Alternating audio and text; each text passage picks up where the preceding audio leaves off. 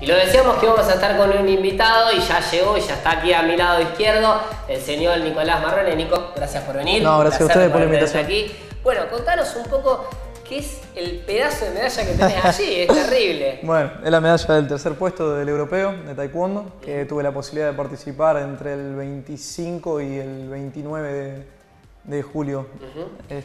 ¿Con, qué, ¿Con qué sensaciones te volvés más allá digo, de la obtención de la medalla?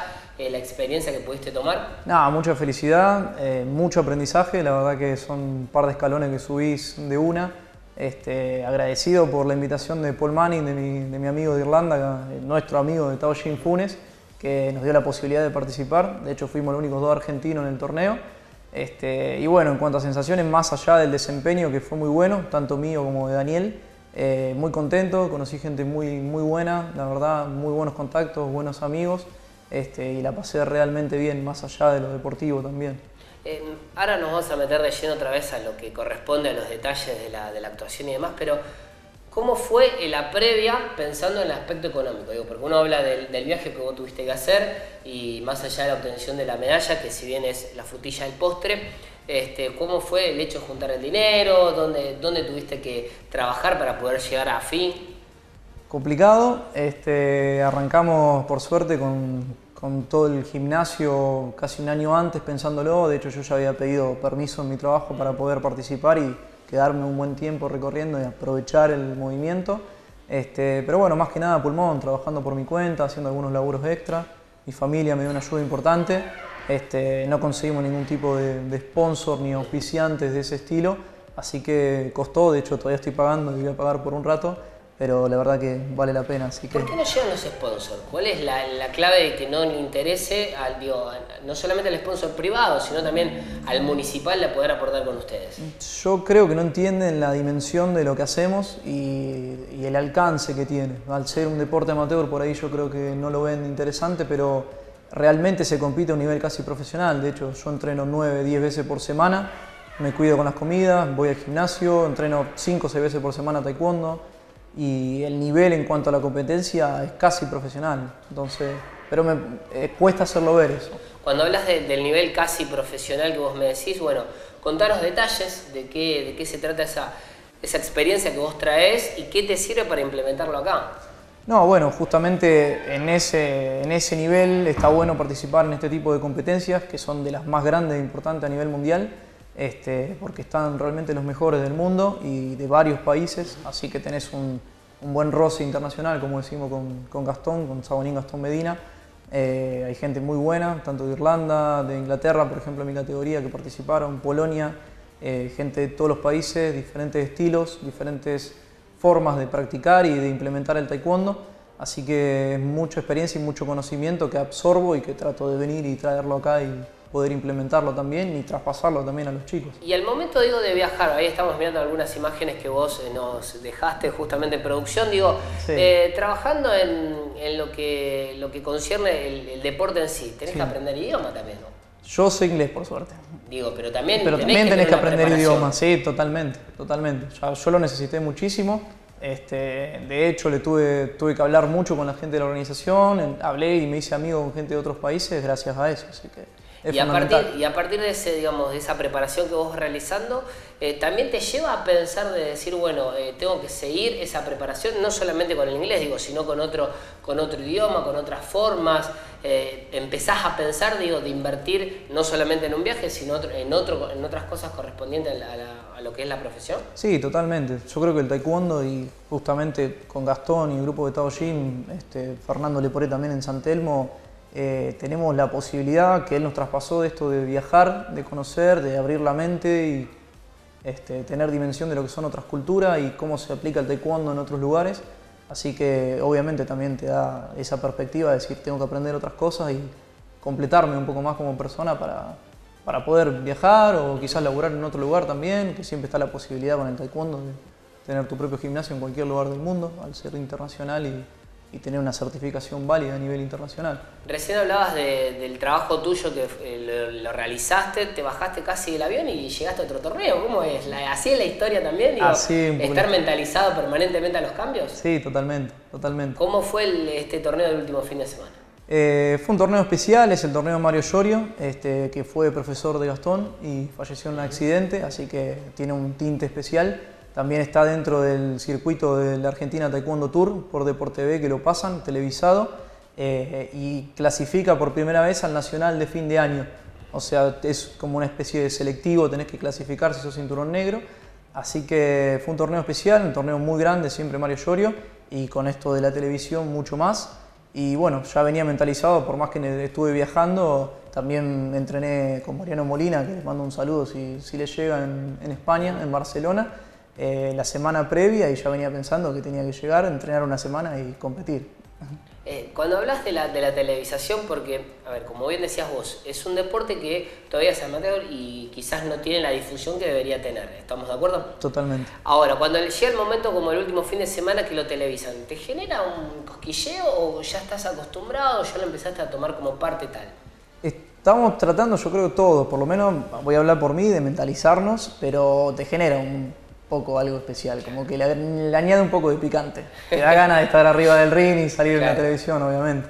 Y a, partir de eso, digo, cuando vos empezás a ya verte en, las pantallas, imagino que después ves el streaming, porque se podía ver por streaming también, en Facebook, en DirecTV, digo, em, ¿la sensación tuya es de mirarte a vos o de entrar en detalles de lo que no pudiste lograr? ¿Te sirve a vos como reflejo? No, siempre entro en detalle y trato de ver qué es lo que no logré. De hecho, mi pelea la miré como cuatro o cinco veces y siempre trato de, aprender de eso. Soy bastante reflexivo y trato bastante detallista también, así que... ¿Se aprende más, digamos, desde, la, desde el video de lo que queda o desde las correcciones del, profesor, de, Gastón? ¿De dónde se aprende más? un poco de las dos. Yo creo que más que nada del profesor, porque, bueno, en este caso por lo general tendría que ser así, pero Gastón tiene muchísima experiencia. A nivel internacional ha participado en contables torneos y le ha ido muy bien, así que siempre estoy atento a lo que él tiene para corregirme, que sabe muchísimo, más en combate todavía. Este, pero yo trato de corregirme también porque soy así, soy perfeccionista, así que no puedo parar de mirar los videos. Es común también que uno esté permanentemente allí, digo, y pensando en lo que viene, este, pero te saco un poquitito del deporte en sí, te yo para el lado de los amigos. Sí. ¿Qué te dicen los amigos? Digo, porque quizás fueron aprendiendo con vos del deporte eh, hay algunos que no saben, que solamente interpretan que sos un loco. ¿Por dónde pasa? Sí, sí, eh, hay un poco de todo, un poco de los dos. Este, pero no, en general siempre me han apoyado. De hecho, algunos cuantos torneos me han ido a ver. Este, les gusta, siempre están ahí. ¿Entienden el detalle? No, no tanto.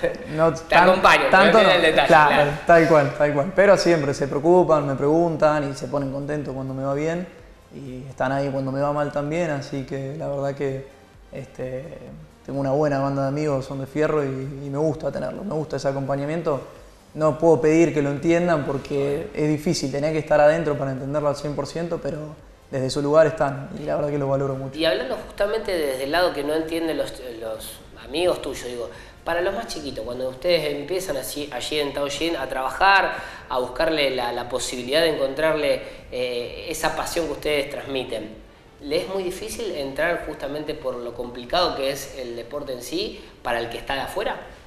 Y yo creo que sí, bastante difícil. De hecho, eh, bueno, yo empecé grande justamente, así que no tengo la experiencia propia, eh, pero yo me agarré, digamos, la pasión después de unos 5 o 6 años de practicar, y yo hace 10 años que practico. Este, y para los chicos también cuesta, aparte muchas distracciones, muchos deportes, cuando, por lo menos yo cuando era chico hacía dos o tres deportes juntos, este, pero bueno, si a vos te gusta y te apasiona, lo vas a seguir, en algún momento puedes dejar, puedes volver, a mí me ha pasado, pero, pero siempre vas a volver, depende de cada uno también. Y de cara a lo que viene ahora, el resto del año, queda poco tiempo, digo poco tiempo porque no quedan tantos meses, pero hay objetivos grandes, medianos. Hay objetivos bastante grandes, vamos a ver si los podemos cumplir. Este, tenemos en principio un torneo regional que es en septiembre y en octubre, perdón, en San Jorge y después tenemos el Panamericano en, Uruguay en noviembre, que es un torneo muy grande, van a venir gente de todos los países limítrofes y por ahí algún invitado del norte quizás también. Así que bueno, es un objetivo bastante, bastante grande, ojalá que lo podamos cumplir. Eh, y después el nacional de fin de año.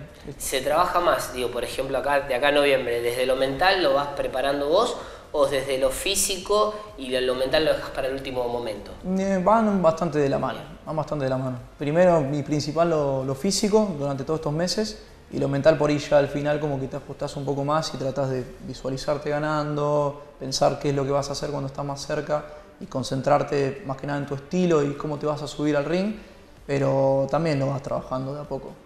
Eh, recién me hablabas que bueno, queda todavía materia por, por, trabajar de acá hasta fin de año, pero si te tengo que dar a elegir un momento del 2019 de tu carrera, ¿con cuál te quedas? Me quedo, sí, con el día que participé en el europeo. Yo creo que peleé muy bien, me sentí muy cómodo. Este, y bueno, también tuve la posibilidad de que esté mi novia, que vive afuera, o sea, está en Barcelona, y bueno, pudimos disfrutar del torneo juntos. Ella hace taekwondo también, es tercer dan, y la verdad que fue un gran momento, fue un gran día. Este, no solamente peleé bien y obtuve la medalla, tuve la posibilidad de compartirlo con ella, con la gente de Barcelona, que muy bueno también, todos los chicos y las chicas. Este, yo creo que sí. ¿Y de qué queda ahora para justamente tratar de llegar más allá? Que obviamente me decías que a Barcelona quizás no viaje en el corto plazo, digo, pero ¿qué queda para que vos te puedas sentir como ese día? ¿Dónde lo tenés que encontrar otra vez la, la cuestión interna? Bueno, justamente te contaba antes de, de, que salgamos al aire que el domingo me sentí un poco frustrado porque no llegué a competir a ese nivel, al nivel que a mí me gusta, pero nada, es cuestión de volver al gimnasio, volver a las bases y empezar... ¿Reinventarse? Sí, empezar un poco de nuevo. Sobre la base, tratar de mejorar esas cosas que...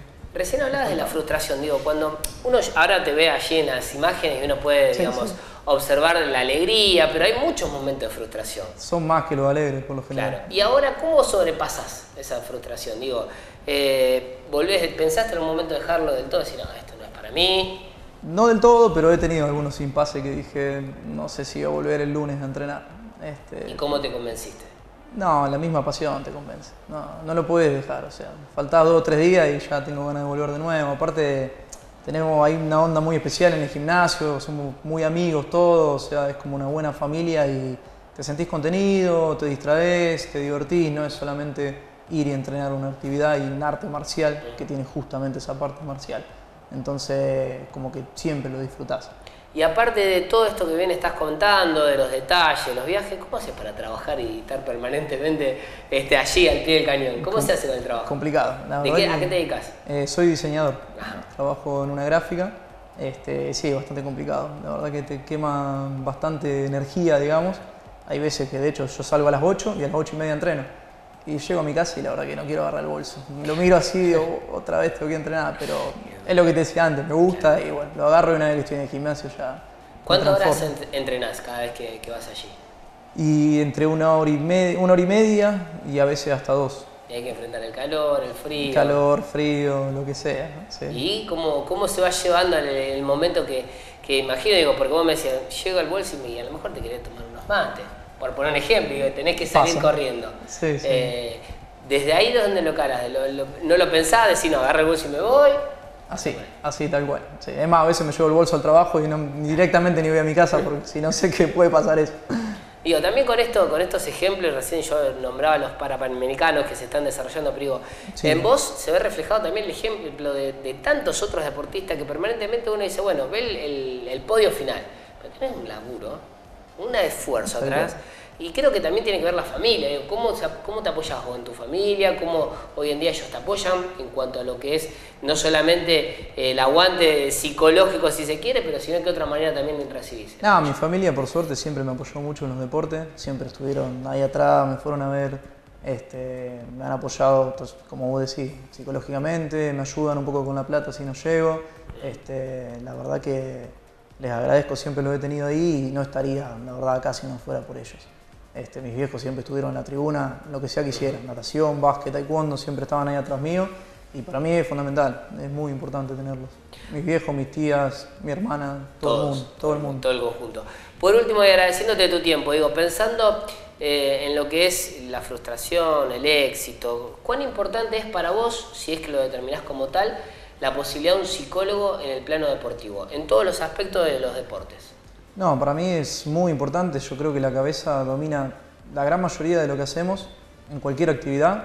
Este, si estás bien de la cabeza, lo más probable es que te vaya bien. No bien de la cabeza en un sentido de salud, sino si estás enfocado, si estás mentalizado, si no tenés ningún tipo de problema personal o, o no tenés miedos, digamos, a taekwondo pasa mucho, en particular el tener miedo, el miedo al, al daño, a hacer daño, a que te hagan daño.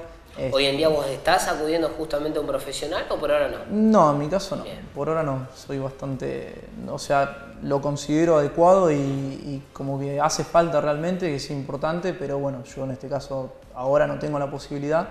Me gustaría, la verdad. Yo creo que hay cosas que se pueden trabajar y, y que sirven mucho a la hora de, de enfocarse, visualizar, de mentalizarse, de dejar algunos miedos o Que alguna- quizás son internos. Tal cual, tal cual, que te retienen de, de poder explotar y dar tu máximo potencial. Nicolás, agradecerte que te haya venido hasta aquí. Muchas un placer. gracias. Déjame agradecerle al maestro Borat y a toda la Escuela Santafesina y la Integración Federal, más que nada al maestro Borat que nos dio la posibilidad inscribiéndonos y, y nos apoyó para que vayamos al torneo, sin su permiso no podíamos ir también. Así que bueno, a todo Taojin Funes también.